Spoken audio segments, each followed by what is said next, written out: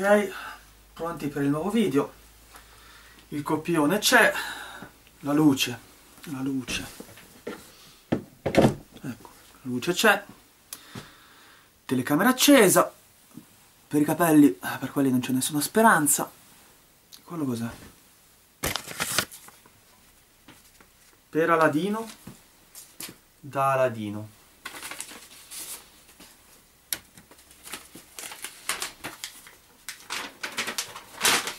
Ciao Aladino, sono il tuo te stesso futuro che ti scrive dal passato. Sono tornato indietro nel tempo per cambiare il corso degli eventi, ma ho fallito. Non sono riuscito a uccidere il nonno. Anzi, alla fine sono diventato io tuo nonno.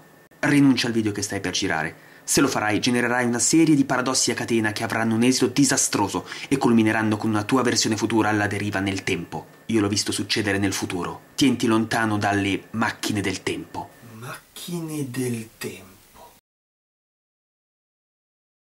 Questa sì che è un'idea. E io che volevo girare un video su un vecchio cartone animato.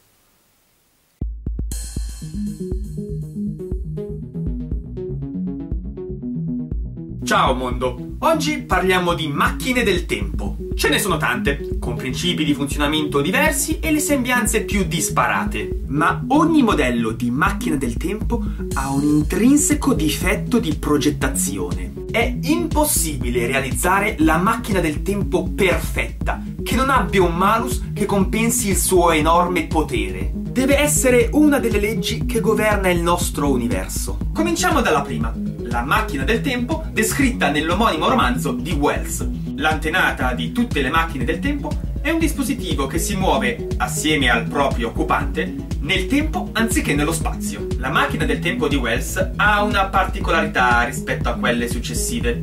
Il trasferimento tra due diverse coordinate temporali non è istantaneo, ma richiede del tempo. Funziona come una sorta di acceleratore temporale soggettivo il viaggiatore vede attorno a sé scorrere il tempo in maniera accelerata, mentre egli, non visto da osservatori esterni, attraversa le ere. Ma cosa succederebbe se, al termine del viaggio, la macchina dovesse materializzarsi in uno spazio già occupato da un altro corpo solido? Probabilmente un gran botto e un naufragio temporale. Inoltre un altro svantaggio è che la macchina si muove attraverso il tempo, ma non attraverso lo spazio. Sarebbe bastato mettergli un paio di ruote, trasformarla in una carrozza e risolvere il problema. Anche se, se la macchina rimane ferma nello spazio, se la Terra ruota attorno al Sole, se il sistema solare se ne va a spasso per la galassia, e se la galassia va a zonzo per l'universo, perché la macchina del tempo non ricompare nel vuoto interstellare? In qualche modo il suo sistema di riferimento deve essere solidale con quello del pianeta, e questo vale per parecchie macchine del tempo. Per esempio per la macchina del tempo più famosa di tutte, quella a cui tutti pensano quando si parla di viaggi nel tempo. Quella che in realtà è un'automobile, quella di Ritorno al futuro. Film che conoscono anche i sassi. Un caldo osannato a destra e manca, ma che presenta una delle macchine del tempo più ridicole e insulse che si siano mai viste. Perché trasformare una DeLorean in una macchina del tempo non è un'idea idiota? No, è una figata fotonica! Flusso canalizzatore! Tempo circuiti! 1,21 gigawatt! Bontà divina! Ah. Che bello ritorno al futuro! Ma come ben sapete, la DeLorean, per funzionare, deve raggiungere le 88 miglia orarie, altrimenti rimane una comunissima automobile. Una comunissima automobile volante. E non solo Michael J. Fox, ma anche Will Smith in Men in Black 3 deve raggiungere una data velocità necessaria per poter viaggiare nel tempo.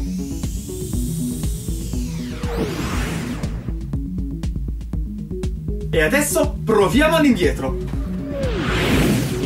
Questo cos'era?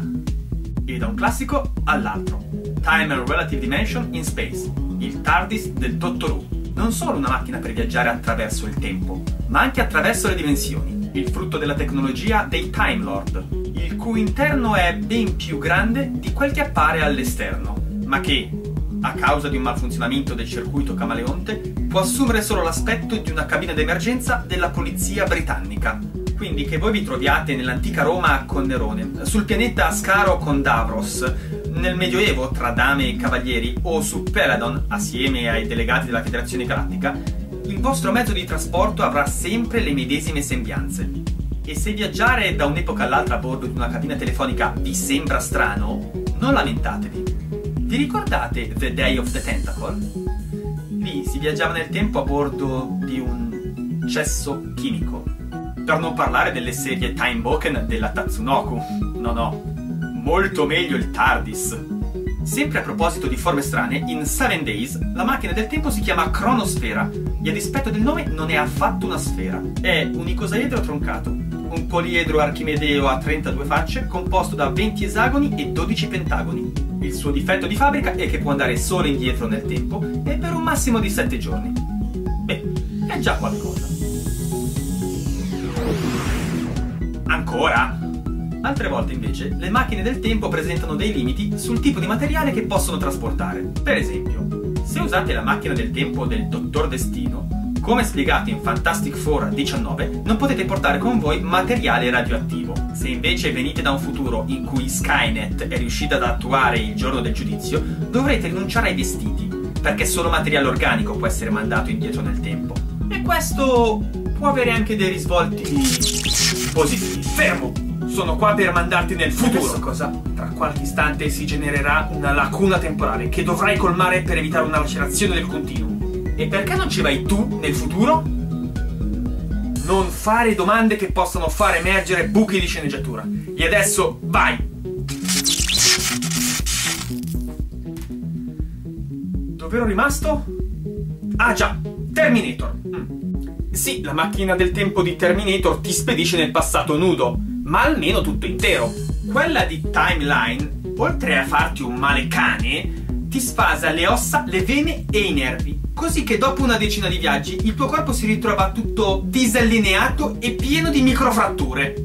Inoltre, hai un limite massimo di tempo in cui puoi restare nel passato prima di attivare il marker per il ritorno, trascorso il quale rimani intrappolato in un altro tempo un problema molto simile a quello della macchina del tempo costruita dai professori Zapotec e Marlin comprimari di Topolino. Per tornare nel proprio tempo, i viaggiatori devono trovarsi esattamente nello stesso luogo del loro arrivo dopo 12, 24 o 36 ore. Zapotec. Zapotec. Zapotec. Fermo! Sono qua per mandarti... Di nuovo. Questo vuol dire che è troppo tardi troppo presto. Non mi rimane altro che andare ancora più indietro nel tempo e uccidere il nonno per impedire la mia nascita. Deve aver usato la macchina del tempo dell'esercito delle 12 scimmie. Quella non è molto precisa. A volte ti manda 9 anni prima della data di destinazione, altre volte in mezzo alla prima guerra mondiale. Non sai mai quando ricompari po' come per il dottor Samuel Beckett, protagonista di Quantum Leap. Per poter viaggiare nel tempo, egli deve far andare bene un evento del passato che è andato male. Deve correggere la storia, prendendo il posto di persone a caso, sostituendosi a loro e migliorando il destino degli altri. Finché un bel giorno decise di averne abbastanza e divenne capitano dell'Enterprise. Enterprise che, ricordiamo, può diventare una comodissima macchina del tempo, come mostrato nell'episodio della serie classica Domani e Ieri. Basta sfruttare l'effetto fionda di un pozzo gravitazionale a velocità superluminale. L'effetto fionda esiste sul serio. Viene usato per mutare traiettorie e velocità di sonde e altri veicoli spaziali,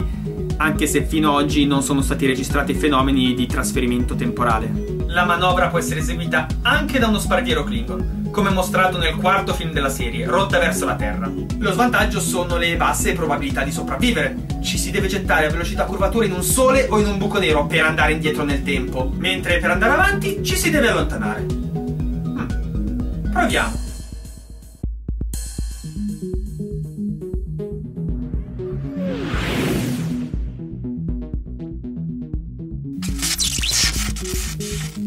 Funzionato.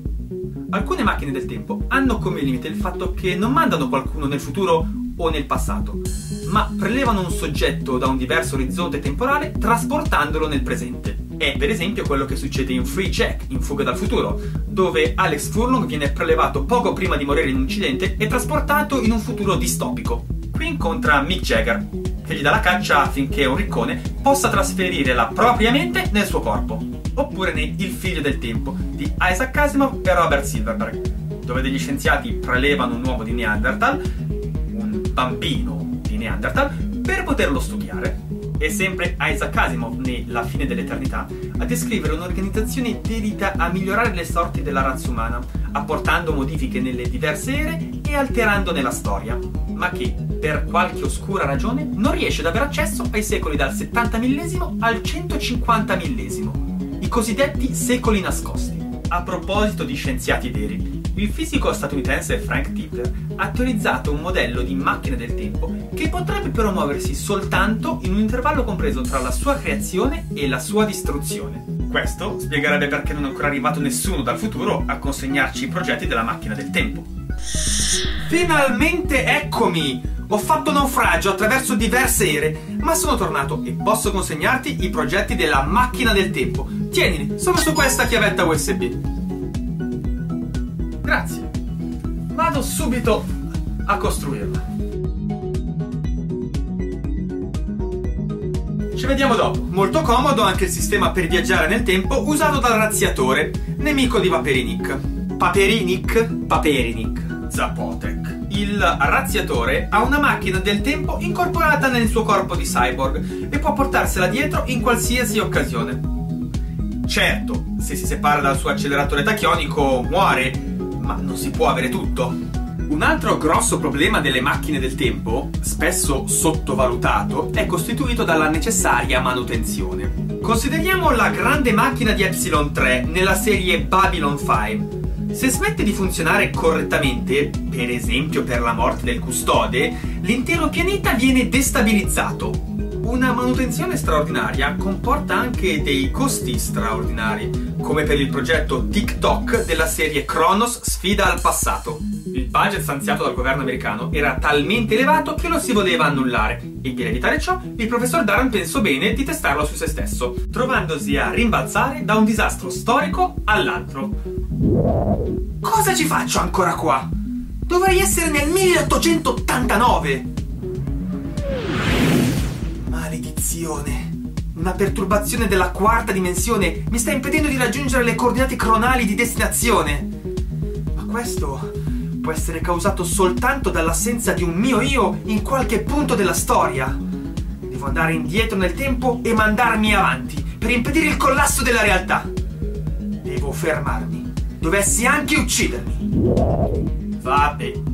Riprendendo il discorso, è sempre il governo americano in Time Cop Indagini dal futuro a monitorare i viaggi nel tempo e a istituire un corpo di guardia per evitarne gli abusi. Con questa tecnologia bisogna essere molto prudenti perché lo stesso corpo non può occupare due volte lo stesso spazio e se un oggetto o una persona dovesse entrare in contatto con il suo duplicato proveniente da un altro tempo... Beh, non ve lo consiglio proprio. Hmm, lo stesso problema occorreva nei visitatori. Altre volte le macchine del tempo non permettono di muoversi a piacimento nel tempo, ma mettono in collegamento due periodi storici prefissati. Per esempio, come nel portale attraversato durante i pellegrinaggi di Terranova. Anche se penso che quel portale fosse in realtà uno dei gate presenti in Chrono Trigger. Certo che devi salvare la razza umana e la spedisci nel Cretaceo, poco prima che un asteroide si schianti sulla Terra dando il via a un'era glaciale. Bravo! Bravo, bravo, bravo! Ecco, ho finito di costruire la macchina. Ora posso tornare indietro nel tempo e uccidere Adolf Hitler appena nato e impedire così la seconda guerra mondiale.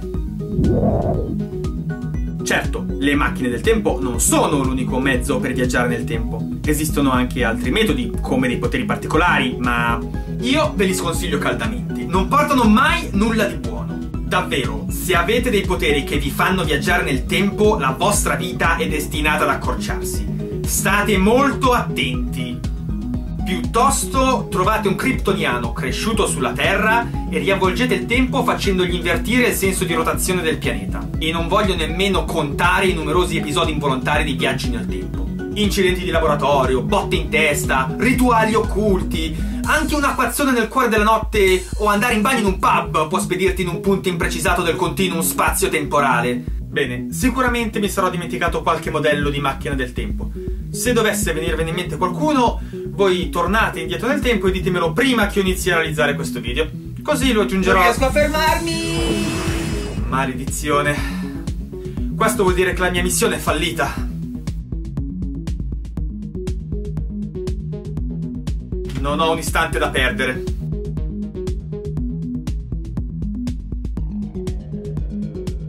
Devo tornare indietro nel tempo prima che il dopo diventi adesso.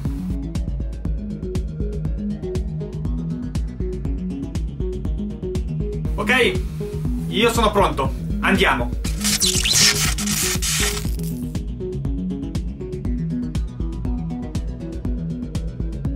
Prima di concludere il video volevo salutare e ringraziare i ragazzi del Raked, Resident Evil Italian Cosplayer Team, che lo scorso 2 febbraio uh, mi hanno invitato a Roma al Vigamus per una giornata dedicata a Resident Evil e agli zombie. Grazie ragazzi, mi sono divertito parecchio ed è stato un piacere conoscervi. Un ringraziamento particolare a Sirio che mi ha ospitato e senza il quale sarei stato costretto a dormire all'addiaccio. Grazie mille. E già che ci sono, volevo menzionare una breve apparizione che ho fatto in un loro video. Eh, sta bene in camice bianco. Faccio una bella figura. Quindi vi saluto tutti, vi ringrazio per aver visto il video, mi scuso per l'attesa ma ho avuto problemi di tempo e alla prossima sto andando alla deriva!